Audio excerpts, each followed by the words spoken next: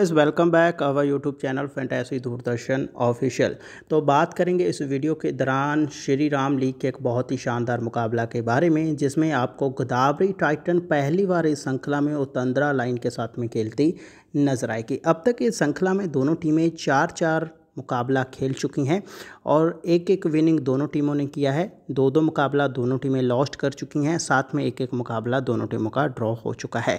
तो आज के मुकाबला में अगर आप जीएल खेलना चाहते हैं तो आपको गाइस ध्यान रखना है, दोनों पक्ष से टीम क्रिएट करनी है। अगर एसएल खेलेंगे, तब भी आपको डबल साइडेड टीम क्रिएट कर लेना है।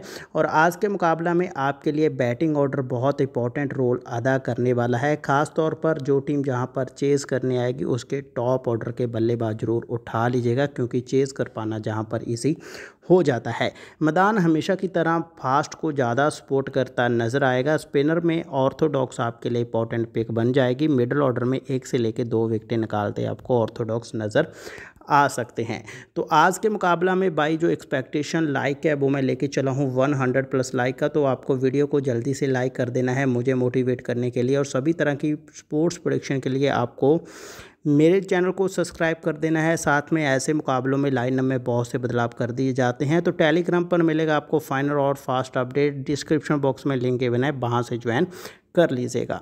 बात करें विकेट कीपर सेक्शन में। दो इंपॉर्टेंट प्लेयर आपके लिए ज़रूर रहेंगे आज के मुकाबला में। पहली नंबर की पिक इंपॉर्टेंट बन जाएगी श्रीकांत बाग भारत जो कि यू टीम के कैप्टन हैं, साथ में विकेट कीपर कि विकेट कीपिंग आपको करते नज़र आएँगे।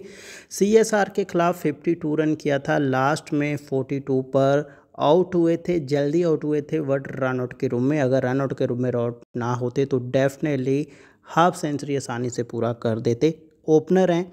बमसी अभी आपको ओपनिंग करते नज़र आएँगे। इकतीस रन लास्ट चार मुकाबले में जे भी हाईएस्ट कर चुके हैं। दोनों को लेके चलेंगे, क्योंकि दोनों ही पावर प्ले के चलते खेलते मिल जाएँगे। पावर प्ले में फील्डिंग घेरे के अंदर रहेगी। और अगर थोड़ा सा इस वगैरह भी टच हो जाता है, ऐसे में सार रहेंगे, चौक और सक्का लग जाने के। तरन को गाइज़ अगर जो ऊपर खेलने आते हैं वेल एंड एन है, तब आप ट्राई कर लीजिएगा। अगर बैटिंग ऑर्डर इनका नीचे रहता है, तब आप इसको ड्रॉप कर सकते हैं। बाकी आपके लिए ट्राइबल पिक बन जाएगी जीएल के लिए।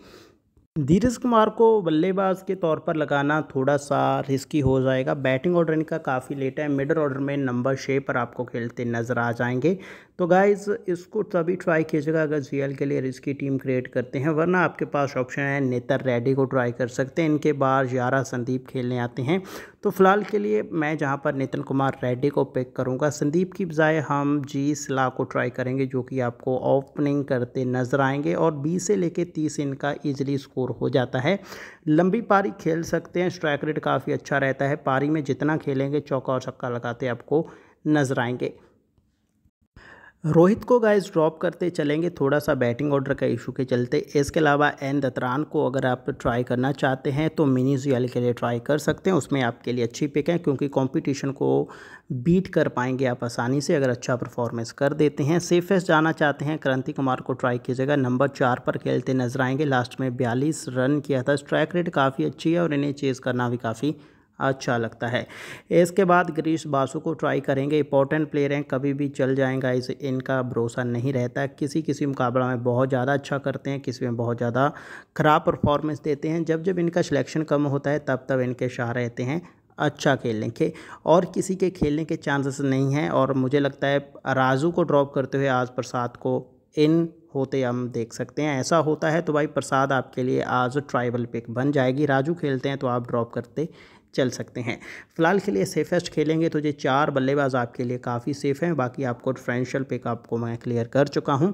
बात करें ऑलराउंडर की तो शशिकांत एक मात्र ऐसे प्लेयर हैं जिनकी को बहुत कम रहती है। ज़्यादातर बल्लेबाज इनको रुक कर खेलते हैं और उनकी पिटाई करते हैं और ज़रूरत पड़ने पर अच्छी खासी बल्लेबाजी भी करते नज़र आएँगे। इसके साथ ट्राई करेंगे एमडी खान को। बाकी अगर इन दोनों में से कोई प्लेयर ड्रॉप होता है जो नहीं खेलेगा, उसको निकाल कर सीधा पिक कर लेंगे कौशक को। और बाकी की आपके लिए ट्राइबल पिक रहेगी। आप जीएल के लिए अपने हिसाब से सेट कर सकते हैं। तो बॉलिंग की बात करें, स्मेल गाइज़ सेफेस्ट पिक है यू वर्मा आपके लिए सेफेस्ट पिक है। थोड़े से रिस्की रहेंगे अजय क्योंकि कभी कभार इनकी खूब पिटाई हो जाती है। और सेफेस्ट रहेंगे जहाँ पर रेडी आप गाइज़ अगर मिनी जी खेलेंगे तो प्रमोद को भी मौका दे सकते हैं। एज ए कैब भी ट्राई कीजिएगा। लास्ट सीज़न काफ़ी खेल अच्छा खेलते नज़र आए थे। कैप्टन ऑप्शन का बात करें तो एमडी खान को कैब ट्राई करेंगे। और शशिकांत इनके साथ पीसी रखेंगे। जी खेलेंगे।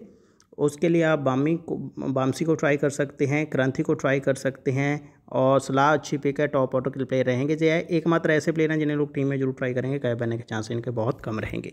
तो ये रहेगा गाइज़ आज मेरा फाइनल टीम एक बार आपको पॉज करके देख लेना है और जो टीम आपको देते हैं गाइस वो ही खुद लगाते हैं आ हारेंगे साथ में, जीतेंगे साथ में। मिलते हैं भाई अगली वीडियो में।